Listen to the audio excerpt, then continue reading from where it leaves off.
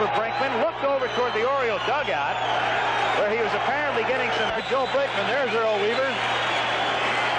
There's Earl Weaver. He's telling Billy Martin right now. And there's Whoa. Oh. answer.